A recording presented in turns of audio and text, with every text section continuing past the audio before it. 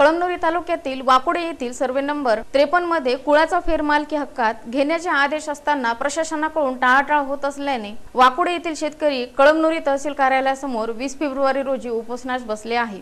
याबाबत अधिक माहिती अशी की कळमनुरी तालुक्यातील वाकुडे येथील सर्वे नंबर त्रेपन्नमध्ये वडिलोपार्जित कुळ जमीन त्यांचे क्षेत्रफळ पंधरा एकर सात गुंठे असे आहे. जमीन क्षेत्राचा फेर घेण्याबाबत महाराष्ट्र न्यायाधिकारी यांनी सुद्धा शेतकऱ्याच्या बाजूने निकाल दिलेला आहे. सदर प्रकरणी असे असतानाही संबंधितांकडून अद्याप कोणतीही कार्यवाही झाली नसल्याचे निवेदनात नमूद केले आहे. कळमनुरी तहसीलदाराने लक्ष देऊन मालकी हक्कात फेर देण्यात यावा याची मागणी करण्यात आली आहे. या उपोषणामध्ये वाकुडी येथील नागोजी भुसारे राजू भुसारे आपल्या मुलाबाळासह उपोषणास बसले आहे. Gulab Bhalerao star news Kalamnuri.